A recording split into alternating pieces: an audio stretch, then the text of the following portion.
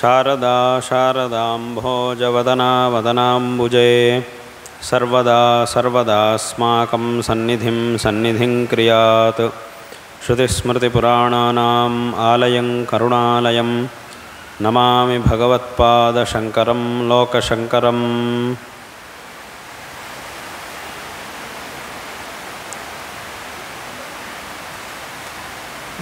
ಈ ತರೀಕೆರೆಯ ಆಸ್ತಿಕ ಮಹಾಜನರಿಗೂ, ದಕ್ಷಿಣಾಮ್ನಾಯ ಶೃಂಗೇರಿ ಶಾರದಾ ಪೀಠಕ್ಕೂ, ಅತ್ಯಂತ ಪ್ರಾಚೀನ ಕಾಲದ ಗುರು ಶಿಷ್ಯ ಸಂಬಂಧವಿದೆ.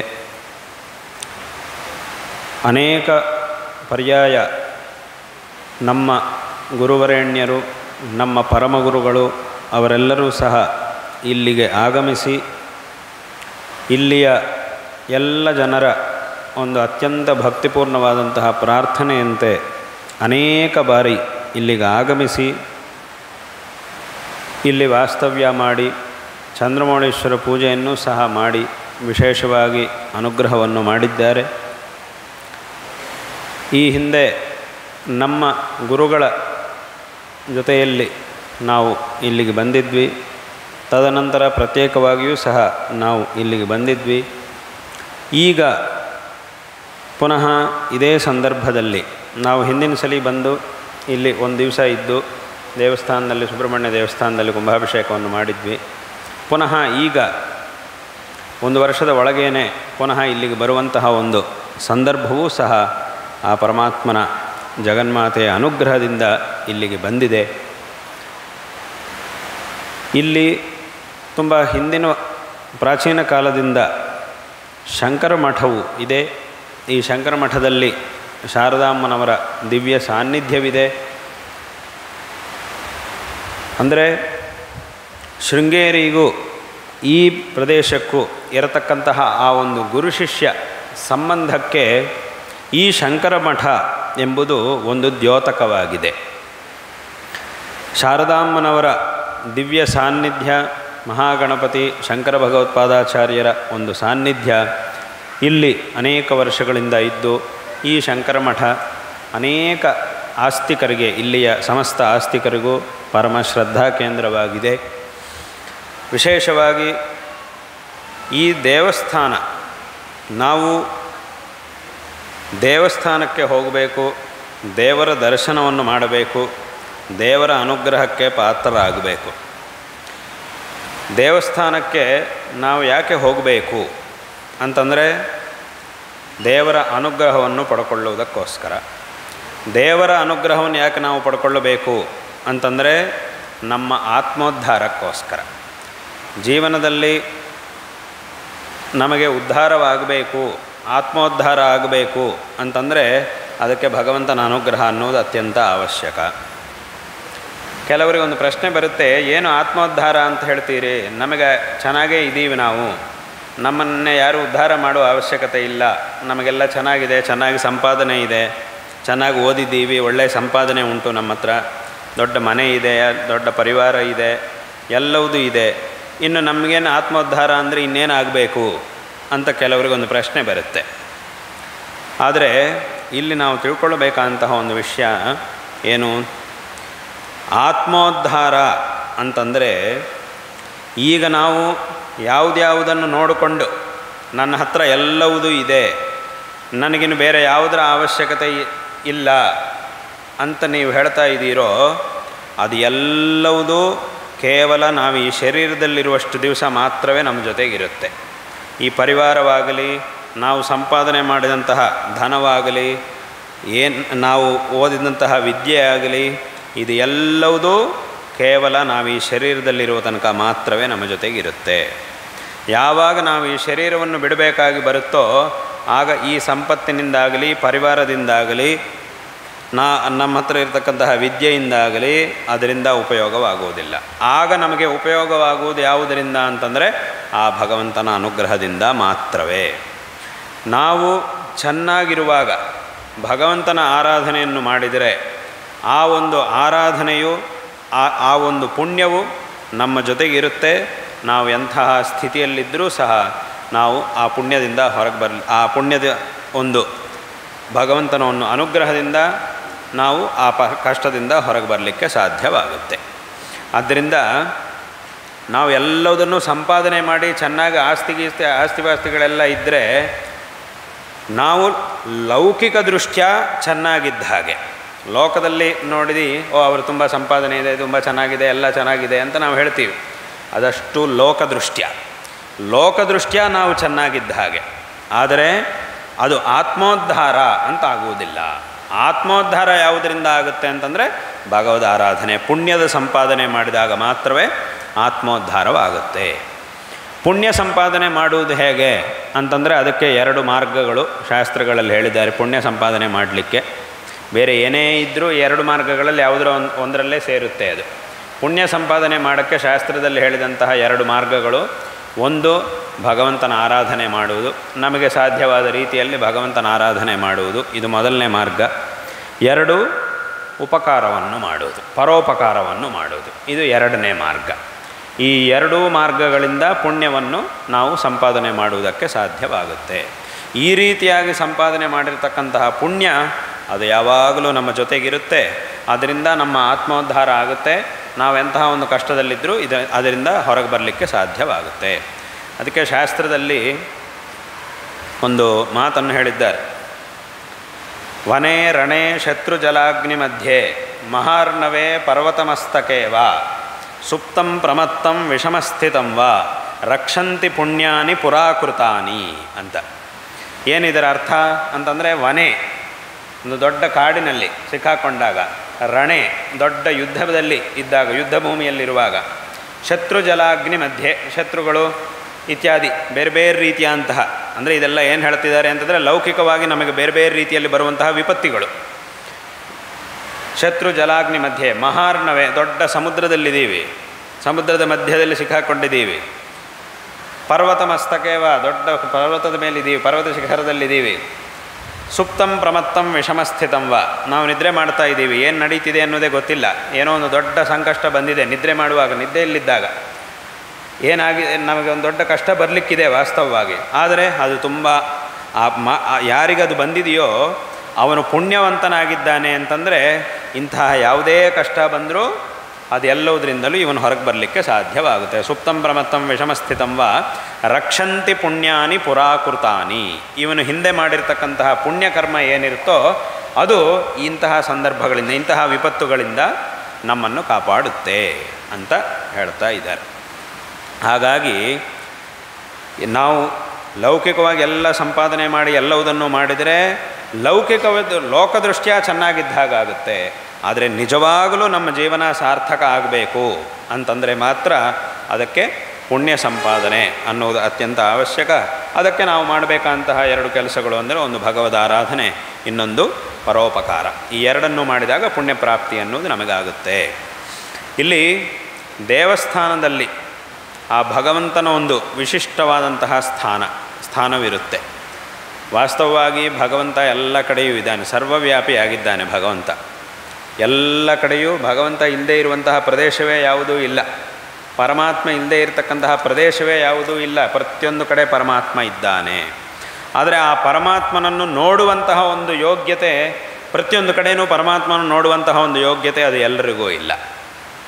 ಕೆಲವರಿಗೆ ಮಾತ್ರವೇ ಅಂತಹ ಒಂದು ಯೋಗ್ಯತೆ. ಎಲ್ಲ ಕಡೆಯೂ ಭಗವಂತನ ನೋಡುವಂತಹ ಯೋಗ್ಯತೆ ಕೆಲವರಿಗೆ ಮಾತ್ರವೇ ಇರುತ್ತೆ. ವಾಸ್ತವವಾಗಿ ಪರಮಾತ್ಮ ಎಲ್ಲ ಕಡೆ ಇದ್ದಾನೆ. ಅಂದರೆ ಅದು ಹೇಗೆ ಅಂತ ಕೇಳಿದರೆ ಅದಕ್ಕೊಂದು ಉದಾಹರಣೆ ಹೇಳಬೇಕು ಅಂದರೆ ಒಂದು ಬಂಗಾರದ ಒಂದು ಗಟ್ಟಿ ಇದೆ. ಅದರಿಂದ ಬೇರೆ ಬೇರೆ ರೀತಿಯಂತಹ ಆಭರಣಗಳನ್ನು ನಾವು ತಯಾರು ಮಾಡ್ತೀವಿ. ಅದನ್ನು ಕರಗಿಸಿ ಬೇರೆ ಬೇರೆ ರೀತಿಯಂತಹ ಆಭರಣಗಳು, ಬೇರೆ ಬೇರೆ ಆಭರಣಗಳು ಅಂದರೆ ಕಿರೀಟ, ಬಳೆ, ಹಾರ, ಉಂಗರ ಇತ್ಯಾದಿಗಳು. ಈ ರೀತಿಯಾಗಿ ಬೇರೆ ಬೇರೆ ರೀತಿಯಂತಹ ಆಭರಣಗಳನ್ನು ತಯಾರು ಮಾಡುವುದಿದೆ. ಒಂದೊಂದು ರೀತಿಯಾದ ಆಭರಣವನ್ನು ತಯಾರು ಮಾಡಿ ಒಂದೊಂದಕ್ಕೂ ಒಂದೊಂದು ಆಕಾರ ಇದೆ. ಒಂದೊಂದು ಆಭರಣಕ್ಕೂ ಒಂದೊಂದು ಆಕಾರ. ಹೀಗಿದ್ದರೆ ಅದು ಹಾರ ಹೀಗಿದ್ದರೆ ಅದು ಬಳೆ ಹೀಗಿದ್ದರೆ ಅದು ಉಂಗರ ಹೀಗಿದ್ದರೆ ಕಿರೀಟ ಅಂತ ಒಂದೊಂದಕ್ಕೂ ಒಂದೊಂದು ನಿರ್ದಿಷ್ಟವಾದಂತಹ ಆಕಾರ ಇದೆ. ಆ ಆಕಾರದಲ್ಲಿದ್ದಾಗ ಅದನ್ನು ನಾವು ಒಂದು ಹೆಸರಿಂದ ಕರಿತೀವಿ. ಇದು ಕಿರೀಟ, ಇದು ಉಂಗರ ಅಂತ ಹೇಳ್ತೀವಿ. ಮತ್ತು ಅದಕ್ಕೊಂದು ನಿರ್ದಿಷ್ಟವಾದಂತಹ ಸ್ಥಾನವೂ ಇದೆ. ಉಂಗರವನ್ನು ಬೆರಳಿಗೆ ಹಾಕ್ಕೊಳ್ಬೇಕು, ಕಿರೀಟವನ್ನು ತಲೆಗೆ, ತಲೆ ಮೇಲೆ ಇಟ್ಕೊಳ್ಬೇಕು, ಹಾರವನ್ನು ಕುತ್ತಿಗೆಗೆ ಹಾಕ್ಕೊಳ್ಬೇಕು. ಇದನ್ನು ಬದಲಾವಣೆ ಮಾಡುವ ಹಾಗಿಲ್ಲ. ಹಾರವನ್ನು ಕೈಗೆ ಹಾಕ್ಕೊಳ್ಳೋದು ಬಳೆಯನ್ನು ಕುತ್ತಿಗೆಗೆ ಹಾಕ್ಕೊಳ್ಳೋದು ಹೀಗೆಲ್ಲ ಮಾಡೋಕ್ಕಾಗೋದಿಲ್ಲ ಹಾಗಿದೆ ಅಂತಂದರೆ ಅದಕ್ಕೆ ಅದೇ ಸ್ಥಾನ, ಅದೇ ಹೆಸರು. ಅದನ್ನು ನಾವು ಬದಲಾವಣೆ ಮಾಡೋಕ್ಕಾಗೋದಿಲ್ಲ ಆದರೆ ಅದಷ್ಟನ್ನು ಕರಗಿಸ್ಬಿಟ್ರೆ ಬರೀ ಬಂಗಾರದ ಗಟ್, ಒಂದು ಗಟ್ಟಿ ಮಾತ್ರವೇ ಉಳಿಯುತ್ತೆ. ಮೊದಲು ಅದು ಹಾಗೇ ಇತ್ತು. ಮೊದಲು ಅದು ಬಂಗಾರದ ಗಟ್ಟಿಯಾಗಿತ್ತು. ಅದನ್ನೇ ನಾವು ಕರಗಿಸಿ ಇಷ್ಟೆಲ್ಲ ಬೇರೆ ಬೇರೆ ರೀತಿಯಂಥ ರೂಪವನ್ನೆಲ್ಲ ಕೊಟ್ಟು ಅದನ್ನು ಬೇರೆ ಬೇರೆ ರೀತಿಯಂತಹ ಆಭರಣಗಳನ್ನಾಗಿ ತಯಾರು ಮಾಡಿದ್ದೀವಿ. ಅದರೊಳಗೂ ಒಂದೊಂದು ಈಗ ಹೇಳಿದ ಹಾಗೆ ಒಂದೊಂದು ಹೆಸರು, ಒಂದೊಂದು ಸ್ಥಾನ, ಒಂದೊಂದು ಆಕಾರ ಎಲ್ಲ ಬಂದಿದೆ ಅದಕ್ಕೆ. ಅದರೊಳಗೆ ಒಂದಕ್ಕನ್ನು ಇನ್ನೊಂದನ್ನು ವ್ಯತ್ಯಾಸವೂ ಮಾಡುವ ಹಾಗಿಲ್ಲ. ಇದಕ್ಕಿಂತ ಅದು ಬೇರೆಯಾಗಿದೆ, ಅದಕ್ಕಿಂತ ಇದು ಬೇರೆ ರೀತಿಯಾಗಿ ಕಾಣ್ತಾ ಇದೆ ಎಲ್ಲವೂ ಬೇರೆ ಬೇರೆ ರೀತಿಯಾಗಿ ಒಂದೊಂದು ಆಭರಣ ಇನ್ನೊಂದಕ್ಕಿಂತ ಬೇರೆಯಾಗಿ ನಮಗೆ ಕಾಣಿಸ್ತಾ ಇದೆ, ಹೀಗೆಲ್ಲ ಇದೆ. ಆದರೆ ಅಲ್ಲೆಲ್ಲ ಕಡೆ ಇರುವುದು ವಾಸ್ತವವಾಗಿ ಬಂಗಾರ ಒಂದೇ. ಇಲ್ಲಿ ನಾವು ಏನು ಹೇಳ್ತೀವಿ? ಉಂಗರ ಬೇರೆ, ಬಳೆ ಬೇರೆ. ಬಳೆ ಬೇರೆ, ಕಿರೀಟ ಬೇರೆ. ಕಿರೀಟ ಬೇರೆ, ಹಾರ ಬೇರೆ. ಅಂತೆಲ್ಲ ಹೇಳ್ಬೋದೇ ಹೊರತು ಉಂಗರ ಬೇರೆ, ಬಂಗಾರ ಬೇರೆ ಅಂತ ಹೇಳೋಕ್ಕಾಗೋದಿಲ್ಲ. ಕಿರೀಟ ಬೇರೆ ಅಥವಾ ಬಂಗಾರ ಬೇರೆ, ಕಿರೀಟದಿಂದ ಬಂಗಾರವನ್ನು ಪ್ರತ್ಯೇಕ ಮಾಡಿ ತೋರಿಸಿ ಅಂತಂದರೆ ಹಾಗೆ ತೋರಿಸಲಿಕ್ಕೆ ಸಾಧ್ಯವಾಗುವುದಿಲ್ಲ ಕಿರೀಟವೇ ಬಂಗಾರ, ಬಂಗಾರವೇ ಕಿರೀಟ. ಇಲ್ಲ, ಹಾಗಲ್ಲ, ಕಿರೀಟಕ್ಕಿಂತ ಹೇಗೆ ಉಂಗರವನ್ನು ಪ್ರತ್ಯೇಕವಾಗಿ ತೋರಿಸ್ತಾ ಇದ್ದೀವೋ ಆ ರೀತಿಯಾಗಿ ಕಿರೀಟಕ್ಕಿಂತ ಪ್ರತ್ಯೇಕವಾಗಿ ಬಂಗಾರವನ್ನು ತೋರಿಸಿ ಅಂತಂದರೆ ಹಾಗೆ ತೋರಿಸಲಿಕ್ಕೆ ಸಾಧ್ಯವಾಗುವುದಿಲ್ಲ. ಬಂಗಾರವೇ ಈ ಒಂದು ಆಕೃತಿಯಲ್ಲಿ ಇದು ಇರುವುದರಿಂದ ಅದನ್ನು ನಾವು ಒಂದು ಕಿರೀಟ ಅಂತ ಹೇಳಿ ಹೇಳ್ತಾ ಇದ್ದೀವಿ. ಇದು ಹೇಗೋ ಅದೇ ರೀತಿಯಾಗಿ ಆ ಪರಮಾತ್ಮ ಈ ಸಮಸ್ತ ಪ್ರಪಂಚವನ್ನು ಸೃಷ್ಟಿ ಮಾಡಿದ್ದಾನೆ. ಆಯಾ ಜೀವಿಗಳ ಕರ್ಮಗಳಿಗೆ ಅನುಸಾರವಾಗಿ ಈ ಪಂಚಭೂತಾತ್ಮಕವಾದಂತಹ ಪ್ರಪಂಚವನ್ನು ಸೃಷ್ಟಿ ಮಾಡಿದ್ದಾನೆ. ಇಡೀ ಪ್ರಪಂಚವು ಪಂಚಭೂತಾತ್ಮಕವೇ. ಯಾವ ಒಂದು ವಸ್ತುವನ್ನು ತಗೊಂಡರೂ ಈ ಐದು ಭೂತಗಳಲ್ಲಿ ಯಾವುದೋ ಒಂದರಿಂದ ಉಂಟಾಗಿರುವಂತಹ ವಸ್ತುವೇ ಆಗಿರುತ್ತೆ. ಈ ಪಂಚಭೂತಗಳು ಯಾವುದು ಇಲ್ಲದೇ ಇರುವಂತಹ ಸಂ, ವಸ್ತುವನ್ನು ಒಂದನ್ನು ತಯಾರು ಮಾಡ್ತೀನಿ ಅಂತಂದರೆ ಅದು ಸಾಧ್ಯವಿಲ್ಲ. ಅದನ್ನು ಯಾರಿಂದಲೂ ತಯಾರು ಮಾಡೋಕ್ಕೆ ಸಾಧ್ಯವಾಗುವುದಿಲ್ಲ. ಯಾವ ವಸ್ತುವಾದರೂ ಈ ಪಂಚಭೂತಗಳಲ್ಲಿ ಯಾವುದೋ ಒಂದಕ್ಕೆ ಅದು ಸೇರಿರಲೇಬೇಕು. ಹಾಗೆ ಈ ಪಾಂಚಭೌತಿಕವಾದಂತಹ ಪ್ರಪಂಚವನ್ನು ಪರಮಾತ್ಮ ಸೃಷ್ಟಿ ಮಾಡಿದ್ದಾನೆ, ಅದನ್ನೇ ಸೃಷ್ಟಿ ಮಾಡಿ ಅದರೊಳಗೆ ತಾನೇ ಪ್ರವೇಶ ಮಾಡಿದ್ದಾನೆ ತತ್ಸೃಷ್ಟ ತದೇವಾನು ಪ್ರಾವಿಶತು ಅಂತ ಉಪನಿಷತ್ತು ಹೇಳ್ತಾ ಇದೆ.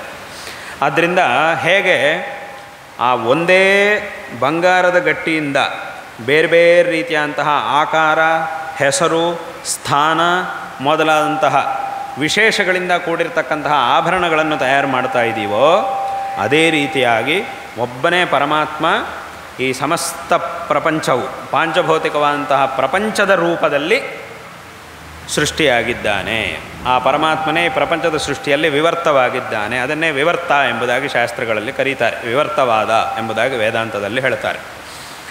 ಹಾಗೆ ಇದರಲ್ಲಿ ಆ ಪರಮಾತ್ಮನ ಜೊತೆಗೆ ಇರ್ತಕ್ಕಂಥದ್ದು ಮಾಯಾ. ಮಾಯಾ ಅದನ್ನೇ ಮಾಯಾ ಅಂತಲೂ ಹೇಳ್ತಾರೆ, ಮೂಲ ಪ್ರಕೃತಿ ಅಂತಲೂ ಹೇಳ್ತೀವಿ, ಅವಿದ್ಯಾ ಅಂತಲೂ ಹೇಳ್ತಾರೆ, ಹೀಗೆಲ್ಲ ಬೇರೆ ಬೇರೆ ಶಬ್ದಗಳಿಂದ ಹೇಳುವುದುಂಟು. ಆದ್ದರಿಂದ ಆ ಮಾಯೆಯ ಒಂದು ಸಂಬಂಧದಿಂದ ಪರಮಾತ್ಮನು ಈ ಪ್ರಪಂಚದ ರೂಪದಲ್ಲಿ ಒಂದು ವಿವರ್ತವನ್ನು ಹೊಂದಿ ನಮಗೆ ಈ ರೀತಿಯಾಗಿ ಕಾಣಿಸ್ತಾ ಇದ್ದಾನೆ. ಆದ್ದರಿಂದ ಹೇಗೆ ಪ್ರತಿಯೊಂದು ಆಭರಣದಲ್ಲೂ ಆ ಬಂಗಾರದಿಂದ ತಯಾರು ಮಾಡಿರ್ತಕ್ಕಂತಹ ಆಭರಣದಲ್ಲಿ ಎಲ್ಲ ಕಡೆಯೂ ಬಂಗಾರ ಅನ್ನೋದು ವ್ಯಾಪಿಸಿದೆಯೋ, ಅದೇ ರೀತಿಯಾಗಿ ಆ ಪರಮಾತ್ಮನಿಂದ ಸೃಷ್ಟಿಯಾಗಿರ್ತಕ್ಕಂತಹ ಈ ಸಮಸ್ತ ಪ್ರಪಂಚದಲ್ಲೂ ಪರಮಾತ್ಮ ಎಲ್ಲ ಕಡೆಯೂ ವ್ಯಾಪಿಸಿದ್ದಾನೆ. ಆದರೆ ಅಂತಹ ಪರಮಾತ್ಮನನ್ನು ಸಾಕ್ಷಾತ್ಕಾರ ಮಾಡಿಕೊಳ್ಳುವಂತಹ ಯೋಗ್ಯತೆ ಅದು ಕೇವಲ ಜ್ಞಾನಿಗಳಿಗೆ ಮಾತ್ರವೇ ಇರುತ್ತೆ. ತುಂಬ ಪರಿಪಕ್ವವಾದಂತಹ ಮನಸ್ಸನ್ನು ಹೊಂದಿರತಕ್ಕಂಥವರಿಗೆ ಮಾತ್ರವೇ ಇರುತ್ತೆ. ಅದನ್ನೆಲ್ಲರಿಗೂ ಸಾಕ್ಷಾತ್ಕಾರ ಮಾಡಿಕೊಳ್ಳಿಕ್ಕೆ ಸಾಧ್ಯವಾಗುವುದಿಲ್ಲ.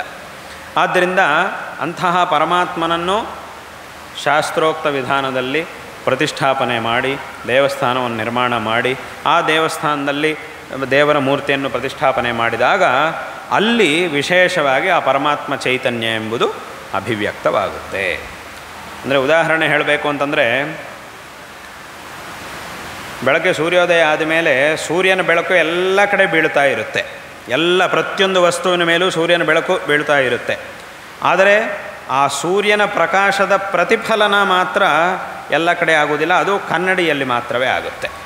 ಬೇರೆ ಎಲ್ಲ ಕಡೆಯೂ ಆಗೋದಿಲ್ಲ ಕಲ್ಲಿನ ಮೇಲೆ ಸೂರ್ಯನ ಪ್ರಕಾಶ ಬಿದ್ದರೆ ಅದು ಮತ್ತೆ ಪುನಃ ಪ್ರತಿಫಲನ ಆಗೋದಿಲ್ಲ ಅದು ಪ್ರತಿಫಲನ ಆಗುವುದೆಲ್ಲಿ ಅಂತಂದರೆ ಶುದ್ಧವಾದ ವಸ್ತುಗಳು. ಅಂದರೆ ಈ ಕನ್ನಡಿ, ಮೊದಲಾದಂಥ ಪರಿಶುದ್ಧವಾದ ವಸ್ತುಗಳಲ್ಲಿ ಮಾ, ಕನ್ನಡಿ ಅಥವಾ ನೀರು, ಅದರಲ್ಲಿ ಮಾತ್ರವೇ ಪ್ರತಿಬಿಂಬಿತವಾಗುತ್ತೆ. ಬೇರೆ ಎಲ್ಲ ಕಡೆಯೂ ಅದು ಪ್ರತಿಬಿಂಬಿತವಾಗುವುದಿಲ್ಲ. ಎಲ್ಲ ಕಡೆಯೂ ಸೂರ್ಯನ ಬೆಳಕು ಬೀಳ್ತಾನೇ ಇದೆ. ಸೂರ್ಯನ ಬೆಳಕು ಎಲ್ಲ ಕಡೆ ಬೀಳ್ತಿದೆ, ಆದರೆ ಅದು ಪ್ರತಿಫಲನ ಮಾತ್ರ ಕೆಲವು ವಸ್ತುಗಳಲ್ಲಿ ಮಾತ್ರವೇ ಆಗುತ್ತೆ. ಅದೇ ರೀತಿಯಾಗಿ ಭಗವಂತನ ಸಾನ್ನಿಧ್ಯವು ಭಗವಂತನ ಒಂದು ವ್ಯಾಪ್ತಿ ಎಲ್ಲ ಕಡೆಯೂ ಇದ್ದರೂ ಸಹ ಆ ಶಾಸ್ತ್ರೋಕ್ತವಾದ ರೀತಿಯಲ್ಲಿ ಪ್ರತಿಷ್ಠಾಪನೆ ಮಾಡಿ ಅದಕ್ಕೆ ಕುಂಭಾಭಿಷೇಕವನ್ನು ಮಾಡಿದಾಗ ಅಲ್ಲಿ ಮಾತ್ರ ವಿಶೇಷವಾಗಿ ಭಗವಂತನ ಒಂದು ಅಭಿವ್ಯಕ್ತಿ ಅನ್ನೋದು ಉಂಟಾಗುತ್ತೆ. ಇದು ಆ ದೇವಸ್ಥಾನ ಮತ್ತು ಆ ದೇವಸ್ಥಾನಗಳಲ್ಲಿರ್ತಕ್ಕಂತಹ ಆ ಮೂರ್ತಿಯ ಒಂದು ಮಹತ್ವ. ಹಾಗಾಗಿ ನಾವು ಅಂತಹ ದೇವಸ್ಥಾನಕ್ಕೆ ಹೋದಾಗ, ದೇವರ ಒಂದು ಸ್ಥಾನಕ್ಕೆ ನಾವು ಹೋದಾಗ ಆ ಭಗವಂತನ ಒಂದು ಕೃಪೆ ಅನ್ನೋದು ವಿಶೇಷವಾಗಿ ನಮಗೆ ಪ್ರಾಪ್ತವಾಗುತ್ತೆ. ಆ ಭಗವತ್ ಕೃಪೆಯಿಂದ ನಾವು ವಿಶೇಷವಾದಂತಹ ಶ್ರೇಯಸ್ಸನ್ನು ಪಡೆಯುವುದಕ್ಕೆ ಸಾಧ್ಯವಾಗುತ್ತೆ. ಹಾಗಾಗಿ ದೇವಸ್ಥಾನಕ್ಕೆ ಹೋಗಿ ನಾವು ದೇವರ ಒಂದು ಅನುಗ್ರಹಕ್ಕೆ ಪಾತ್ರರಾಗಬೇಕಾದದ್ದು ಪ್ರತಿಯೊಬ್ಬ ಮನುಷ್ಯನ ಕರ್ತವ್ಯ. ನಾನು ತುಂಬ ಜನರಿಗೆ ಹೇಳ್ತಾ ಇದ್ದೀನಿ, ದೇವಸ್ಥಾನಕ್ಕೆ ನೀವು ಹೋಗಬೇಕು, ಮತ್ತು ನಿಮ್ಮ ಮನೆಯಲ್ಲಿರೋ ಮಕ್ಕಳನ್ನು ಕರ್ಕೊಂಡು ಹೋಗಬೇಕು. ಬರೀ ನೀವು ಮಾತ್ರ ಹೋಗಿ ಬಂದರೆ ಸಾಕಾಗೋದಿಲ್ಲ. ಮನೆಯಲ್ಲಿರೋ ಮಕ್ಕಳನ್ನು ಸಹ ದೇವಸ್ಥಾನಕ್ಕೆ ಕರ್ಕೊಂಡು ಹೋಗಿ, ಅವರಿಗೆ ಅದನ್ನು ಚೆನ್ನಾಗಿ ಅಭ್ಯಾಸ ಮಾಡಿಸಿ. ಏ, ಚಿಕ್ಕ ವಯಸ್ಸಿಂದ ಯಾಕ್ರಿ ಮಕ್ಕಳಿಗೆ ದೇವಸ್ಥಾನವನ್ನೆಲ್ಲ ಕರ್ಕೊಂಡು ಹೋಗೋದು? ಅವರೆಲ್ಲ ದೊಡ್ಡವರಾದಮೇಲೆ ಅವರೇ ಹೋಗ್ತಾರೆ ಅಂತ ಹಾಗೆ ಬಿಡಬಾರ್ದು. ಈ ಚಿಕ್ಕ ವಯಸ್ಸಿನಿಂದಲೂ ಅವರಿಗೆ ಈ ರೀತಿಯಾದಂತಹ ಒಂದು ಸಂಸ್ಕಾರವನ್ನು ಕೊಟ್ಟರೆ ಜೀವನದಲ್ಲಿ ಅವರಿಗೆ ತುಂಬ ಉಪಯೋಗ ಆಗುತ್ತೆ. ಈ ಆಧ್ಯಾತ್ಮಿಕವಾದಂತಹ ಸಂಸ್ಕಾರ ಅಂತಂದರೆ ಇದು ಯಾವುದೋ ವಯಸ್ಸಾದ ಮೇಲೆ ಪಡ್ಕೊಳ್ಬೇಕಂತಹದ್ದಲ್ಲ. ಇದು ಚಿಕ್ಕ ವಯಸ್ಸಿನಿಂದಲೂ ಈ ಆಧ್ಯಾತ್ಮಿಕ ಸಂಸ್ಕಾರ ಅನ್ನೋದು ಮನುಷ್ಯನನ್ನು ಎಲ್ಲ ರೀತಿಯಲ್ಲೂ ಅತ್ಯಂತ ದೃಢವನ್ನಾಗಿ ಮಾಡುತ್ತೆ. ಆ ಆಧ್ಯಾತ್ಮಿಕವಾದಂತಹ ಒಂದು ಸಂಸ್ಕಾರ, ಧಾರ್ಮಿಕ ಸಂಸ್ಕಾರ ಮಕ್ಕಳಿಗೆ ಬಂತು ಅಂತಂದರೆ ಅವರು ಮಾನಸಿಕವಾಗಿ ಎಲ್ಲ ರೀತಿಯಲ್ಲೂ ಸಹ ಅತ್ಯಂತ ದೃಢರಾಗ್ತಾರೆ. ಆಗ ಜೀವನದಲ್ಲಿ ಮುಂದೆ ಅವರಿಗೆ ಜೀವನದಲ್ಲಿ ಎಂಥ ಒಂದು ಪರಿಸ್ಥಿತಿ ಬಂದರೂ ಸಹ ಅವರಿಗೆ ಅದನ್ನು ಎದುರಿಸಿ ಮುಂದಕ್ಕೆ ಹೋಗುವಂತಹ ಒಂದು ಸಾಮರ್ಥ್ಯ ಮಕ್ಕಳಿಗೆ ಬರುತ್ತೆ. ಆದ್ದರಿಂದ ಈ ರೀತಿಯಾದಂತಹ ಒಂದು ಸಂಸ್ಕಾರ, ಈ ಆಧ್ಯಾತ್ಮಿಕ ಸಂಸ್ಕಾರ ಅನ್ನೋದು ಮಕ್ಕಳಿಗೆ ಅತ್ಯಂತ ಅವಶ್ಯಕ. ಚಿಕ್ಕ ವಯಸ್ಸಿನಲ್ಲೇ ಅವರಿಗೆ ಕಲಿಸಬೇಕಾದದ್ದು ಅತ್ಯಂತ ಅವಶ್ಯಕ. ಅದರಿಂದ ನಾವು ಹೋಗಬೇಕು, ನಮ್ಮ ಜೊತೆಗೆ ಮಕ್ಕಳನ್ನು ಕರ್ಕೊಂಡು ಹೋಗಬೇಕು. ಮತ್ತು ಮಕ್ಕಳನ್ನು ಕರ್ಕೊಂಡು ಹೋಗಿ ಅಲ್ಲಿ ದೇವಸ್ಥಾನಕ್ಕೆ ಹೋದಾಗ ಏನು ಮಾಡಬೇಕು? ಮಕ್ಕಳಿಗೆ ಶ್ಲೋಕಗಳನ್ನು ಹೇಳಿಕೊಡಬೇಕು, ಆ ಶ್ಲೋಕಗಳನ್ನು ಹೇಳಿಸಬೇಕು ದೇವಸ್ಥಾನದಲ್ಲಿ.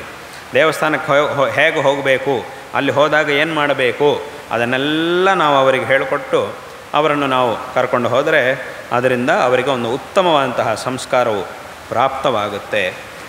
ಆದ್ದರಿಂದ ಆ ಭಗವಂತನ ಒಂದು ಅನುಗ್ರಹ ಪ್ರತಿಯೊಬ್ಬ ಮನುಷ್ಯನಿಗೂ ಅತ್ಯಂತ ಅವಶ್ಯಕ. ಆ ಒಂದು ಪುಣ್ಯವು ಪ್ರತಿಯೊಬ್ಬ ಮನುಷ್ಯನಿಗೂ ಅತ್ಯಂತ ಅವಶ್ಯಕ. ಅದು ನಮಗೆ ಪ್ರಾಪ್ತವಾಗಬೇಕು. ಪುಣ್ಯ ಪ್ರಾಪ್ತಿ ನಮಗಾಗಬೇಕು ಅಂತಂದರೆ ಅದರಲ್ಲಿ ಮೊದಲನೇ ಮಾರ್ಗ ಭಗವಂತನ ಒಂದು ಆರಾಧನೆ. ಆದ್ದರಿಂದ ದೇವಸ್ಥಾನ ಅದರಿಂದಲೇ ಇಲ್ಲಿಯ ಎಲ್ಲ ಜನರ ಒಂದು ವಿಶೇಷವಾದಂತಹ ಪ್ರಾರ್ಥನೆಯಂತೆ ಅನೇಕ ವರ್ಷಗಳ ಹಿಂದೆಯೇ ಶಾರದಾಮ್ಮನವರ ಮತ್ತು ಮಹಾಗಣಪತಿಯ ಹಾಗೂ ಆದಿಶಂಕರ ಭಗವತ್ಪಾದಾಚಾರ್ಯರ ಒಂದು ಸಾನ್ನಿಧ್ಯದ ಪ್ರತಿಷ್ಠಾಪನೆ ಇಲ್ಲಿ ಆಗಿದೆ. ಶಂಕರ ಭಗವತ್ಪಾದಾಚಾರ್ಯರು ನಮ್ಮ ಒಂದು ಸನಾತನ ಧರ್ಮದ ಉದ್ಧಾರಕರು. ಅವರು ಅವತಾರ ಮಾಡಿರಲಿಲ್ಲ ಅಂತಂದರೆ ನಮ್ಮ ಒಂದು ಸನಾತನ ಧರ್ಮವು ಸಂಪೂರ್ಣವಾಗಿ ವಿಚ್ಛಿನ್ನವಾಗಿ ನಾಶ ಆಗಿ ಆಗಿ ಹೋಗ್ತಾ ಇತ್ತು. ಆದರೆ ಅವರು ಅವತಾರ ಮಾಡಿ ಈ ಒಂದು ಧರ್ಮವು ವಿಚ್ಛಿನ್ನವಾಗದೇ ಇರುವ ಹಾಗೆ ಉದ್ಧಾರ ಮಾಡಿದ್ದಾರೆ. ಒಂದು ಕಥೆ ಹೇಳ್ತಿ, ಹೇಳ್ತಾರೆ. ಸಣ್ಣ ಮಕ್ಕಳಿಗೆ ಹೇಳ, ಹೇಳುವಂತಹ ಕಥೆ. ಚಿಕ್ಕ ವಯಸ್ಸಿನಲ್ಲಿ ಮಕ್ಕಳಿಗೆ ಹೇಳಿಕೊಳ್ಳುವಂತಹ ಒಂದು ಕಥೆ ಇದು. ಏನಂತಂದರೆ ಒಂದು ಒಂದು ಕಡೆ ದನಗಳು, ಒಂದು ಗೋವುಗಳ ಒಂದು ಗುಂಪಿತ್ತು, ಒಂದು ಸಮೂಹ ಇತ್ತು. ಆ ಗೋವುಗಳ ಹಿಂಡು ದಿವಸ ಹೊರಗಡೆ ಹೋಗಿ ಮೇಯ್ಕೊಂಡು ಬರ್ತಾ ಇತ್ತು. ಯಾವಾಗಲೂ ಆ ಗೋವುಗಳೆಲ್ಲ ಒಟ್ಟಿಗೇ ಹೋಗಿ ಮೇಯ್ಕೊಂಡು ಬರ್ತಾ ಇದ್ದು. ಪಕ್ಕದಲ್ಲೊಂದು ಕಾಡಿತ್ತು, ಆ ಕಾಡಿನಲ್ಲಿ ಒಂದು ಹುಲಿ ಇತ್ತು. ಆ ಹುಲಿಗೆ ಏನಾದರೂ ಮಾಡಿ ಈ ದನಗಳ ಈ ಗೋವುಗಳನ್ನು ಮೇಲೆ ದಾಳಿ ಮಾಡಿ ತಿನ್ನಬೇಕು ಅಂತ, ಅದು ಕೊಲ್ಲಬೇಕು ಅಂತ ಅದಕ್ಕಿರ್ತಿತ್ತು. ಆದರೆ ಏನಾಗ್ತಿತ್ತು? ಯಾವಾಗ ಆ ಹುಲಿ ಬರುತ್ತೋ ತಕ್ಷಣ ಎಲ್ಲ ದನಗಳು ಸೇರಿ, ಎಲ್ಲ ಒಟ್ಟಿಗೆ, ಎಲ್ಲ ದನಗಳು ಒಟ್ಟಿಗೆ ಸೇರಿ ಅದನ್ನು ಹೆದರಿಸ್ತಾ ಇದ್ದು ಆಗ ಹುಲಿಗೆ ಹೆದರಿಕೆ ಆಗೋಗ್ತಿತ್ತು. ಈ ದನಗಳಿರುವಂಥ ಕೋಡುಗಳು ಇದನ್ನೆಲ್ಲ ನೋಡಿ, ಅಂದರೆ ಎಲ್ಲ ಒಟ್ಟಿಗೆ ಅದನ್ನು ಎದುರಿಸಿದ್ರಿಂದ ಆ ಹುಲಿಗೆ ಹೆದರಿಕೆಯಾಗಿ ಓಡ್ಕೊಂಡು ಹೋಗ್ತಾ ಇತ್ತು ವಾಪಸ್ಸು. ಆದರೆ ಹೀಗೆ, ಸುಮಾರು ದಿವಸ ಹೀಗೆ ಆಗ್ತಾ ಇತ್ತು. ಆದರೂ ಆ ಹುಲಿ ಬಿಡ ಬಿಡ, ಬಿಡಲಿಲ್ಲ. ಯಾಕಂದರೆ ಈ ಹುಳಿ, ಹುಲಿ, ಚಿರತೆ ಅದೆಲ್ಲ ಅಷ್ಟು ಸ್ವಲ್ಪಕ್ಕೆ ಬಿಡುವುದಿಲ್ಲ. ಅದೆಲ್ಲೋ ಒಂದು ಕಡೆ ಪಕ್ಕದಲ್ಲೆಲ್ಲೋ ಇರುತ್ತೆ. ಯಾರು ಆ ಬೇರೆ ಪ್ರಾಣಿಗಳು ಗೊತ್ತಾಗದೇ ಇರುವ ಹಾಗೆ ನೋಡಿ ಗಮನಿಸ್ತಾ ಇರುತ್ತೆ. ಎಲ್ಲಿ ಅವಕಾಶ ಸಿಗುತ್ತೋ ಅಲ್ಲಿ ಆ ಪ್ರಾಣಿಯನ್ನು ಬೇಟೆಯಾಡುತ್ತೆ. ಒಂದಿಷ್ಟು ದಿವಸ ಆಯಿತು. ಆಮೇಲೆ ಈ ಗೋವುಗಳಿಗೆ, ಈ ದನಗಳಲ್ಲೇ ಒಂದಕ್ಕೊಂದಕ್ಕೂ ಜಗಳ ಆಯಿತು. ಪರಸ್ಪರ ಜಗಳ ಆಗಿ ಒಂದಕ್ಕೊಂದಕ್ಕೂ ಹೊಡೆದಾಟ ಎಲ್ಲ ಆಗಿ ಈ ದನಗಳಿಗೆ. ಒಂದಕ್ಕೊಂದಕ್ಕೂ ಜಗಳ ಆಗಿ ಪ್ರತ್ಯೇಕ ಪ್ರತ್ಯೇಕ ಮೇಯಕ್ಕೆ ಶುರು ಮಾಡಿದರು.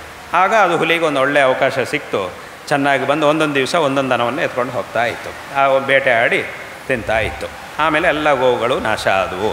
ಅಂದರೆ ಇದು ಚಿಕ್ಕ ಮಕ್ಕಳಿಗೆ ಹೇಳುವಂತಹ ಕಥೆ ತುಂಬ ಚಿಕ್ಕ ವಯಸ್ಸಿನಲ್ಲಿ ಮಕ್ಕಳಿಗೆ ಹೇಳ್ಕೊಡ್ತಾ ಇದ್ದರು ಹಿಂದಿನ ಕಾಲದಲ್ಲಿ ಈ ಕಥೆಯನ್ನು ಹೇಳ್ತಾ ಇದ್ದರು ಮಕ್ಕಳಿಗೆ.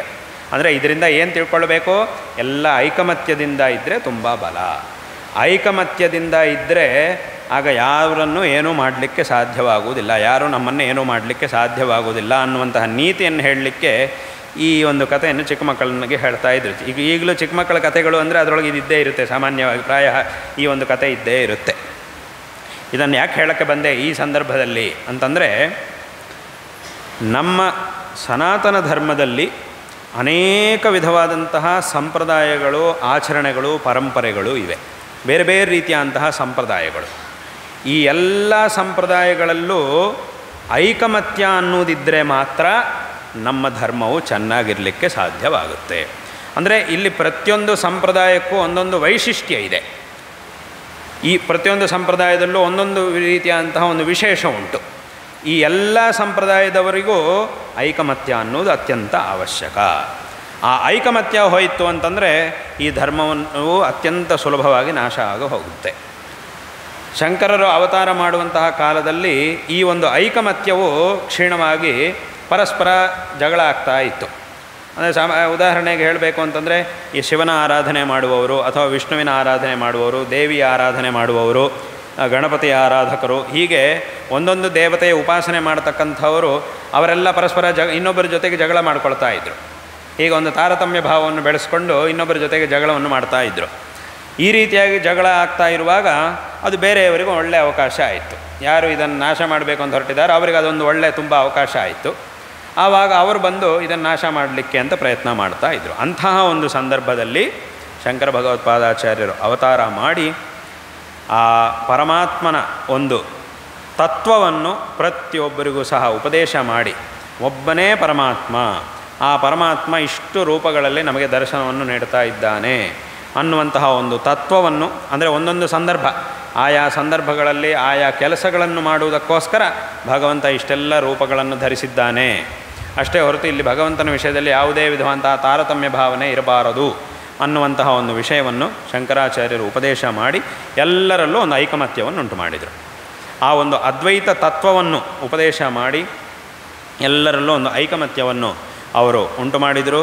ಅಂದರೆ ಅಲ್ಲಿಗೇನಾಯಿತು ಒಂದು ಉದಾಹರಣೆ ಕೊಡಬೇಕು ಅಂತಂದರೆ ನಮ್ಮ ಸನಾತನ ಧರ್ಮ ಅನ್ನೋದು ಒಂದು ಹೂವಿನ ಹಾರ. ಒಂದು ಹೂವಿನ ಹಾರ ಇದ್ದ ಹಾಗೆ. ಆ ಹೂವಿನ ಹಾರ ಸರಿಯಾಗಿ ಭಗವನ್, ಆ ಹೂವಿನ ಹಾರವನ್ನು ನಾವೇನು ಮಾಡಬೇಕು? ದೇವರ ಆರಾಧನೆ ಮಾಡಿ ದೇವರ ಕೊರಳಿಗೆ ಹಾಕಿದರೆ ಅದು ಅತ್ಯಂತ ದರ್ಶನೀಯವಾಗಿರುತ್ತೆ. ಆದರೆ ಬೇರೆ ಬೇರೆ ರೀತಿಯಾದಂತಹ ಪರಿಮಳ, ಬೇರೆ ಬೇರೆ ರೀತಿಯಾದಂತಹ ರೂಪ ಇತ್ಯಾದಿಗಳಿಂದ ಕೂಡಿರ್ತಕ್ಕಂತಹ ಅನೇಕ ಹೂವುಗಳಿಂದ ಒಂದು ಹಾರವನ್ನು ತಯಾರು ಮಾಡಿ ಆ ಹಾರವನ್ನು ದೇವರ ಕಂಠಕ್ಕೆ ಹಾಕಬೇಕು ಅಂತಂದರೆ ಮೊದಲ ಎಲ್ಲ ಹೂವುಗಳನ್ನು ಸೇರಿಸುವಂತಹ ಒಂದು ದಾರ ಇರಬೇಕು, ಒಂದು ಸೂತ್ರ ಇರಬೇಕು.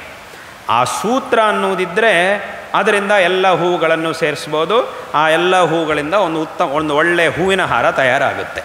ಆ ಹೂವಿನ ಹಾರವನ್ನು ನಾವು ದೇವರ ಕಂಠಕ್ಕೆ ಹಾಕಿದರೆ ಅದು ಅತ್ಯಂತ ಶೋಭಾಯಮಾನವಾಗಿರುತ್ತೆ. ಆದ್ದರಿಂದ ಹೂಗಳು ಎಷ್ಟೇ ಚೆನ್ನಾಗಿದ್ದರು ಹೂಗಳು ಒಳ್ಳೆ ಪರಿಮಳ ಇದೆ, ತುಂಬ ಪರಿಮಳ ಉಂಟು, ತುಂಬ ನೋಡಲಿಕ್ಕೆ ಬಹಳ ಒಂದು ದರ್ಶನೀಯವಾಗಿದೆ, ಅಂತಹ ಎಷ್ಟೇ ಹೂಗಳನ್ನು ತಂದರೂ ಆ ಹೂಗಳನ್ನು ಸೇರಿಸುವಂತಹ ಒಂದು ತಂತು, ಆ ಹೂಗಳನ್ನು ಸೇರಿಸುವಂತಹ ಒಂದು ದಾರ ಇಲ್ಲ, ಸೂತ್ರ ಇಲ್ಲ ಅಂತಂದರೆ ಆಗ ಎಲ್ಲ ಹೂಗಳು ಉದುರಿ ಕೆಳಗೆ ಬಿದ್ದು ಹೋಗುತ್ತೆ. ಆದ್ದರಿಂದ ಆ ಎಲ್ಲ ಹೂಗಳನ್ನು ಸೇರಿಸುವಂತಹ ಸೂತ್ರ ಒಂದು ಬೇಕು. ನಮ್ಮ ಭಾ ಸನಾತನ ಧರ್ಮದಲ್ಲಿರ್ತಕ್ಕಂತಹ ಒಂದೊಂದು ಪರಂಪರೆ, ಒಂದೊಂದು ಹೂವಿದ್ದ ಹಾಗೆ. ಆ ಎಲ್ಲ ಪರಂಪರೆಯನ್ನು ಸೇರಿಸುವಂತಹ ಒಂದು ಸೂತ್ರ ಯಾವುದು ಅಂತಂದರೆ, ಅದೇ ಶಂಕರಾಚಾರ್ಯರು ಉಪದೇಶ ಮಾಡಿರ್ತಕ್ಕಂತಹ ಅದ್ವೈತ ತತ್ವ. ಆದ್ದರಿಂದ ಶಂಕರರು ಅಂತಹ ಒಂದು ಅದ್ವೈತ ತತ್ವ ಎಂಬತಕ್ಕಂತಹ ಒಂದು ಸೂತ್ರದಿಂದ ಎಲ್ಲ ಸಂಪ್ರದಾಯಗಳನ್ನು ಸೇರಿಸಿ ಅದೊಂದು ಸನಾತನ ಧರ್ಮವನ್ನಾಗಿ, ಆ ಹೂಗಳು ಕೆಳಗೆ ಉದುರಿ ಆಚೆ ಈಚೆಗೆ ಹೋಗದೇ ಇರುವ ಹಾಗೆ ಎಲ್ಲವುದನ್ನು ಸೇರಿಸಿ ಒಂದು ಮಾಲೆಯಂತೆ ತಯಾರು ಮಾಡಿಟ್ಟಿದ್ದಾರೆ. ಅದನ್ನು ಮಾಡಿರತಕ್ಕಂತಹ ಮಹಾಪುರುಷರು ಜಗದ್ಗುರು ಶ್ರೀ ಆದಿಶಂಕರ ಭಗವತ್ಪಾದಾಚಾರ್ಯರು. ಹಾಗಾಗಿ ಅವರ ಒಂದು ದಿವ್ಯ ಒಂದು ಸಾನ್ನಿಧ್ಯವೂ ಸಹ ಇಲ್ಲಿದೆ. ಶಂಕರ ಭಗವತ್ಪಾದಾಚಾರ್ಯರ ವಿಷಯದಲ್ಲಿ ಪ್ರತಿಯೊಬ್ಬ ಸನಾತನ ಧರ್ಮ ಅನುಯಾಯಿಯೂ ಸಹ ಅತ್ಯಂತ ಶ್ರದ್ಧೆಯಿಂದ ಇರಬೇಕು. ನಮ್ಮ ಮೊದಲನೇ ಗುರುವು ಅಂತಂದರೆ ನಮ್ಮ ಮೊದಲನೇ ನಮಸ್ಕಾರ ಇಲ್ಲಿ ಶಂಕರ ಭಗವತ್ಪಾದಾಚಾರ್ಯರಿಗೆ. ಆದ್ದರಿಂದ ಅವರು ತೋರಿಸಿರ್ತಕ್ಕಂತಹ ಮಾರ್ಗವನ್ನು ಅನುಸರಣೆ ಮಾಡಬೇಕು ಮತ್ತು ಅವರು ಏನು ಉಪದೇಶಗಳನ್ನು ಮಾಡಿದ್ದಾರೋ ಸಮಸ್ತ ಲೋಕದ ಒಂದು ಉದ್ಧಾರಕ್ಕಾಗಿ ಯಾವ ಉಪದೇಶಗಳನ್ನು ಮಾಡಿದ್ದಾರೋ ಆ ಉಪದೇಶಗಳನ್ನು ಜೀವನದಲ್ಲಿ ಆಚರಣೆ ಮಾಡಿ ಕೃತಾರ್ಥರಾಗಬೇಕು ಅನ್ನುವಂತಹ ಒಂದು ವಿಷಯವನ್ನು ಹೇಳ್ತಾ ಅವರ ಒಂದು ಜಯಂತಿ ಉತ್ಸವ. ಶಂಕರಾಚಾರ್ಯರ ಒಂದು ಜಯಂತಿ ಉತ್ಸವವನ್ನು ಪ್ರತಿಯೊಬ್ಬರೂ ಸಹ ಅವರ ಮನೆಯಲ್ಲಿ, ಮನೆಗಳಲ್ಲಿ ಆಚರಣೆ ಮಾಡಬೇಕು. ಪ್ರತಿಯೊಬ್ಬರೂ ತಮ್ಮ ತಮ್ಮ ಮನೆಗಳಲ್ಲಿ, ಈಗ ರಾಮನವಮಿ, ಕೃಷ್ಣಾಷ್ಟಮಿ, ನವರಾತ್ರಿ, ಶಿವರಾತ್ರಿ, ವಿನಾಯಕ ಚತುರ್ಥಿ ಇದನ್ನೆಲ್ಲ ಹೇಗೆ ಆಚರಣೆ ಮಾಡ್ತೀವೋ ಅದೇ ರೀತಿಯಾಗಿ ಶಂಕರ ಜಯಂತಿಯನ್ನು ಸಹ ಪ್ರತಿಯೊಬ್ಬರೂ ತಮ್ಮ ಮನೆ ಮನೆಗಳಲ್ಲಿ ಆಚರಣೆ ಮಾಡಬೇಕು. ಅವರು ಉಪದೇಶ ಮಾಡಿರ್ತಕ್ಕಂತಹ ತತ್ವಗಳನ್ನು ಅನುಸಂಧಾನ ಮಾಡಿಕೊಳ್ಳಬೇಕು. ಅವರು ತೋರಿಸಿದಂತಹ ಮಾರ್ಗದಲ್ಲಿ ಹೋಗಬೇಕು, ಅವರು ರಚನೆ ಮಾಡಿರ್ತಕ್ಕಂತಹ ಸ್ತೋತ್ರಗಳನ್ನು ಪಠನ ಮಾಡಿ ಕೃತಾರ್ಥರಾಗಬೇಕು ಅನ್ನುವಂತಹ ಒಂದು ವಿಷಯವನ್ನು ಹೇಳ್ತಾ ಇದ್ದೇವೆ. ನಮಗೆ ಅವರ ಉಪದೇಶಗಳ ಒಂದು ಮಹತ್ವ ಹೇಳಬೇಕು ಅಂತಂದರೆ, ಅವರು ಬೇರೆ ಬೇರೆ ರೀತಿಯಂತಹ ಉಪದೇಶಗಳನ್ನು ಅನೇಕ ಮಾಡಿದ್ದಾರೆ ಶಂಕರಾಚಾರ್ಯರು. ನಮ್ಮ ಜೀವನದಲ್ಲಿ ತುಂಬ ಜನರಿಗೆ ಬೇರೆ ಬೇರೆ ರೀತಿಯಂತಹ ಸಂಕಷ್ಟಗಳು ಬರ್ತಾ ಇರುತ್ತೆ. ಒಬ್ಬರಿಗೆ ಒಂದು ರೀತಿಯಾದ ಸಂಕಷ್ಟ, ಇನ್ನೊಬ್ಬರಿಗೆ ಇನ್ನೊಂದು ರೀತಿಯಾದ ಸಂಕಷ್ಟ, ಇನ್ನೊಬ್ಬರಿಗೆ ಇನ್ನೊಂದು ರೀತಿಯಾದ ಸಂಕಷ್ಟ, ಹೀಗೆ ಬೇರೆ ಬೇರೆ ರೀತಿಯಾದಂತಹ ಸಂಕಷ್ಟಗಳು ಎಲ್ರಿಗೂ ಬರ್ತಾ ಇರುತ್ತೆ. ಅದು ಎಂತಹ ಒಂದು ಸಂಕಷ್ಟ ಬಂದರೂ ಸಹ ಶಂಕರಾಚಾರ್ಯರ ಆ ಉಪದೇಶಗಳನ್ನು ಒಂದು ಸಲ ನಾವು ಅವಲೋಕನ ಮಾಡಿದರೆ ನಮಗೆ ಬಂದಿರತಕ್ಕಂತಹ, ಈಗ ನಮಗೆ ಬಂದಿರತಕ್ಕಂತಹ ಈ ಸಂಕಷ್ಟಕ್ಕೆ ಬೇಕಾದಂತಹ ಒಂದು ಪರಿಹಾರ ಖಂಡಿತವಾಗಿಯೂ ಅದರೊಳಗೆ ನಮಗೆ ಸಿಕ್ಕೇ ಸಿಗುತ್ತೆ. ಅಂದರೆ ಇಲ್ಲಿ ಮೂರು ವಿಷಯ. ನಮಗೆ ಇವತ್ತಿನ ದಿವಸ ಈ ಸಂಕಷ್ಟ ಬರಲಿಕ್ಕೆ ಏನು ಕಾರಣ? ಅದನ್ನೂ ಸಹ ನಾವು ಅವರ ಉಪದೇಶಗಳಿಂದ ತಿಳ್ಕೊಳ್ಬೋದು ಅಥವಾ ಈ ಸಂಕಷ್ಟವು ನನಗೆ ಪರಿಹಾರ ಆಗಬೇಕು ಅಂದರೆ ಅದಕ್ಕೆ ನಾನೇನು ಮಾಡಬೇಕು? ಅದನ್ನೂ ಸಹ ನಾವು ತಿಳ್ಕೊಳ್ಬೋದು ಹಾಗೆ ನನಗೆ ಸಂಕಷ್ಟವೇ ಬರಬಾರದು ಅಂತಂದರೆ ನಾವು ಹೇಗೆ ಜೀವನ ನಡೆಸಬೇಕು? ಅದನ್ನೂ ಸಹ ಅವರ ಗ್ರಂಥಗಳ, ಅವರ ಉಪದೇಶಗಳಿಂದ ನಾವು ತಿಳ್ಕೊಳ್ಳುವುದಕ್ಕೆ ಸಾಧ್ಯ ಆಗುತ್ತೆ. ನಮಗೆ ಕಷ್ಟ ಪರಿ, ಈಗ ಬಂದಿರುವ ಕಷ್ಟ ಪರಿಹಾರ ಆಗಬೇಕಾದ್ರೆ ಅದಕ್ಕೆ ಏನು ಮಾಡಬೇಕು? ಅಥವಾ ಈ ಕಷ್ಟ ಯಾವುದರಿಂದ ನನಗೆ ಬಂದಿದೆ? ಮೂಲ, ಇದರ ಮೂಲ ಏನು? ಯಾಕೆ ಇದು ನನಗೆ ಬಂದಿದೆ ಅನ್ನೋದನ್ನು ತಿಳ್ಕೊಳ್ಳಿಕ್ಕೆ. ಅಥವಾ ನನಗಿಂತಹ ಕಷ್ಟಗಳು ಜೀವನದಲ್ಲಿ ಬರಲೇಬಾರದು ಅಂದರೆ ನಾನು ಯಾವ ರೀತಿಯಾಗಿ ಜೀವಿಸ್, ಜೀವನ ನಡೆಸಬೇಕು? ಈ ಮೂರು ವಿಷಯಗಳನ್ನು ಸಹ ಅವರ ಉಪದೇಶಗಳಿಂದ ನಾವು ತಿಳ್ಕೊಳ್ಳಿಕ್ಕೆ ಸಾಧ್ಯವಾಗುತ್ತೆ. ಆದ್ದರಿಂದ ಅವರ ಉಪದೇಶಗಳ ಒಂದು ಮಹತ್ವ ಅತ್ಯಂತವಾಗಿದೆ. ಆದ್ದರಿಂದ ಅವರ ಒಂದು ಉಪದೇಶಗಳನ್ನು ಸಹ ಜೀವನದಲ್ಲಿ ಅಳವಡಿಸಿಕೊಂಡು ಕೃತಾರ್ಥರಾಗಬೇಕು ಅನ್ನುವಂತಹ ಒಂದು ವಿಷಯವನ್ನು ಈ ಸಂದರ್ಭದಲ್ಲಿ ಎಲ್ಲರಿಗೂ ಹೇಳಬಯಸ್ತಾ ಇದ್ದೇವೆ. ನಾವು ಆರಂಭದಲ್ಲಿ ಹೇಳಿದ ಹಾಗೆ, ಇಲ್ಲಿಯ ಆಸ್ತಿಕ ಜನತೆಗೂ, ದಕ್ಷಿಣಾಮ್ನಾಯ ಶೃಂಗೇರಿ ಶಾರದಾ ಪೀಠದ ಜಗದ್ಗುರುಗಳಿಗೂ ಒಂದು ವಿಶಿಷ್ಟವಾದಂತಹ ಗುರು ಶಿಷ್ಯ ಸಂಬಂಧ ಇದೆ. ಅನೇಕ ಬಾರಿ ಇಲ್ಲಿಗೆ ಆಗಮಿಸುವಂತಹ ಒಂದು ಸಂದರ್ಭವೂ ಸಹ ಆಗಾಗ ಬರ್ತಾ ಇರುತ್ತೆ. ಈಗ ಇಲ್ಲಿಗೆ ಬರುವಂತಹ ಒಂದು ಸಂದರ್ಭ ಬಂದಿದೆ. ಇವತ್ತಿನ ದಿವಸ ಇಲ್ಲಿ ನೂತನವಾಗಿ ದೇವಸ್ಥಾನದಲ್ಲಿ ನಿರ್ಮಾಣವಾಗಿರ್ತಕ್ಕಂತಹ ಶಿಖರ ಕಲಶ ಶಿಖರ ಮತ್ತು ಆ ಮುಖಮಂಡಪ ಇತ್ಯಾದಿಗಳ ಒಂದು ಹಾಗೂ ಮಹಾದ್ವಾರ ಪ್ರವೇಶದ್ವಾರ ಇತ್ಯಾದಿಗಳನ್ನೆಲ್ಲ ಉದ್ಘಾಟನೆ ಮಾಡಿದ್ದೇವೆ. ಅತ್ಯಂತ ಸುಂದರವಾಗಿ ಒಂದು ದೇವಸ್ಥಾನದ, ಅಂದರೆ ದೇವಸ್ಥಾನವೂ ಹಿಂದಿಂದಲೂ ಇದೆ. ಆದರೆ ಆ ದೇವಸ್ಥಾನದ ಒಂದು ಆಕೃತಿ ಈಗ ಬಂದಿದೆ. ಮಾಮೂಲಿಯಾಗಿ ಹಿಂದಿಂದಲೂ ದೇವಸ್ಥಾನ ದೇವರ ಸಾನ್ನಿಧ್ಯ, ಅದು ಹಿಂದಿಂದಲೂ ಇದ್ದೇ ಇದೆ. ಆದರೆ ಅದನ್ನು ನೋಡಿದಾಗ ನಮಗೆ ಅನಿಸ್ತಾ ಇತ್ತು, ಇಲ್ಲೊಂದು ದೇವಸ್ಥಾನ ಇದೆ. ಆದರೆ ದೇವಸ್ಥಾನದ ಒಂದು ಆಕಾರ ಬಂದರೆ, ಹೊರಗಿಂದ ನೋಡಿದವಾಗಲೂ ಆ ಒಂದು ಆಕಾರ ದೇವಸ್ಥಾನದ ಹಾಗೆ ಬಂತು ಅಂತಂದರೆ, ಅದು ನೋಡಲಿಕ್ಕೆ ಮನಸ್ಸಿಗೆ ತುಂಬ ಸಂತೋಷವಾಗುತ್ತೆ ಅನ್ನುವಂಥ ಭಾವನೆ ನಮ್ಮ ಮನಸ್ಸಲ್ಲಿತ್ತು. ಅದರಂತೆ ಅದನ್ನು ತಿಳ್ಕೊಂಡು ವಿಶೇಷವಾಗಿ ನಮ್ಮ ಪ್ರೀತಿಪಾತ್ರರಾಗಿರ್ತಕ್ಕಂಥವರು ಕೃಷ್ಣಮೂರ್ತಿಗಳವರು, ಅವರು ಅದನ್ನು ತಿಳ್ಕೊಂಡು ವಿಶೇಷವಾಗಿ ಈಗ ಈ ಒಂದು ನಿರ್ಮಾಣವನ್ನು ಮಾಡಿಸಿ, ಈ ದೇವಸ್ಥಾನದ ಒಂದು ಸುಂದರವಾದಂತಹ ದೇವಸ್ಥಾನದ ಆಕಾರವನ್ನು ಇದಕ್ಕೆ ತಂದಿದ್ದಾರೆ. ಇದು ಅತ್ಯಂತ ಸಂತೋಷಕರವಾದಂತಹ ಒಂದು ವಿಷಯ. ಈ ಒಂದು ಸಂದರ್ಭದಲ್ಲಿ ಅವರಿಗೆ ನಾವು ನಾರಾಯಣ ಸ್ಮರಣಪೂರ್ವಕವಾಗಿ ಆಶೀರ್ವಾದಗಳನ್ನು ಮಾಡ್ತಾ ಇದ್ದೇವೆ. ಹಾಗೂ ಇಲ್ಲಿ ವಿಶೇಷವಾಗಿ ನಾವು ಬಂದಾಗೆಲ್ಲ ವಿಶೇಷವಾಗಿ ಇಲ್ಲಿಯ ಬ್ರಾಹ್ಮಣ ಮಹಾಸಭೆ, ಈ ತರೀಕೆರೆಯ ಬ್ರಾಹ್ಮಣ ಮಹಾಸಭೆ ಮತ್ತು ಇಲ್ಲಿ ಎಲ್ಲ ಆಸ್ತಿಕರೂ ಸಹ ವಿಶೇಷವಾಗಿ ಇಲ್ಲಿಗೆ ಇದರಲ್ಲಿ ಭಾಗವಹಿಸಿ ವಿಶೇಷವಾದಂತಹ ಒಂದು ಸೇವೆಯನ್ನು ಮಾಡುವವರಾಗಿದ್ದಾರೆ, ನಮ್ಮ ಪ್ರೀತಿಪಾತ್ರರಾಗಿದ್ದಾರೆ. ನಿಮಗೂ ಅವರಿಗೂ ಸಹ ನಾವು ಈ ಸಂದರ್ಭದಲ್ಲೆಲ್ಲ ಸಮಸ್ತ ಬ್ರಾಹ್ಮಣ ಮಹಾಸಭೆ ಅಧ್ಯಕ್ಷರು ಎಲ್ಲರಿಗೂ ಸಹ ನಾವು ಈ ಸಂದರ್ಭದಲ್ಲಿ ಆಶೀರ್ವಾದಗಳನ್ನು ಮಾಡ್ತಾ ಇದ್ದೇವೆ. ಎಲ್ಲರಲ್ಲೂ ಸಹ ಇದೇ ರೀತಿಯಾದಂತಹ ಒಂದು ಐಕಮತ್ಯ ಇದು ಸದಾ ಕಾಲ ಇರಬೇಕು. ಯಾವುದೇ ವಿಧವಾದಂತಹ ಒಂದು ಭಿನ್ನಾಭಿಪ್ರಾಯಗಳಿಗೆ ಇಲ್ಲಿ ನಾವು ಅವಕಾಶವನ್ನು ಕೊಡಬಾರದು. ಅವರವರ ವೈಯಕ್ತಿಕವಾದಂತಹ ವಿಷಯಗಳು ಅದೆಲ್ಲ ಬೇರೆ. ಅದು ಅವರವರಿಗೆ ಬಿಟ್ಟದ್ದು. ಆದರೆ ಒಂದು ಧಾರ್ಮಿಕವಾದಂತಹ ಒಂದು ಕೆಲಸ ಒಂದು ಈ ರೀತಿಯಾದಂತಹ ಒಂದು ಉತ್ತಮವಾದಂತಹ ಕೆಲಸ, ಒಂದು ದೇವಸ್ಥಾನ ಇತ್ಯಾದಿ ಕಾರ್ಯಗಳು ಅಂತಂದರೆ ಮಾತ್ರ ಅದರೊಳಗೆ ಯಾವುದೇ ವಿಧವಾದಂತಹ ಭೇದಕ್ಕೆ ಅವಕಾಶವನ್ನು ಕೊಡಲೇಬಾರದು. ಹಾಗಾಗಿ ಇದೇ ರೀತಿಯಾದಂತಹ ಒಂದು ಐಕಮತ್ಯ ಸದಾಕಾಲ ಇರಬೇಕು. ಎಲ್ಲರೂ ಸಹ ಪರಸ್ಪರ ಸಹಕಾರವನ್ನು ಮಾಡಿಕೊಳ್ಳುತ್ತಾ ಪರಸ್ಪರ ಸಹಕಾರಿಗಳಾಗಿದ್ದುಕೊಂಡು ಇದ್ದು ವಿಶೇಷವಾಗಿ ಆ ಭಗವತ್ ಸೇವೆಯನ್ನು ಮತ್ತು ಗುರು ಸೇವೆಯನ್ನು ಹೀಗೆ ಮಾಡ್ತಾ ಇರಬೇಕು ಅನ್ನುವಂಥ ಒಂದು ವಿಷಯವನ್ನು ಹೇಳ್ತಾ ಈ ಸಂದರ್ಭದಲ್ಲಿ ನಿಮಗೆಲ್ಲರಿಗೂ ಸಹ ನಾರಾಯಣ ಸ್ಮರಣಪೂರ್ವಕವಾಗಿ ಆಶೀರ್ವಾದಗಳನ್ನು ಮಾಡ್ತಾ ಎಲ್ಲ ಆಸ್ತಿಕರಿಗೂ ಈ ಸಂದರ್ಭದಲ್ಲಿ ನಮ್ಮ ಆಶೀರ್ವಾದಗಳನ್ನು ಮಾಡಿ ಈ ಮಾತುಗಳನ್ನು ಇಲ್ಲಿ ಉಪಸಂಹಾರ ಮಾಡುತ್ತೇವೆ. ಹರ ನಮಃ ಪಾರ್ವತೀಪತಯೇ ಹರ ಹರ ಮಹಾದೇವ.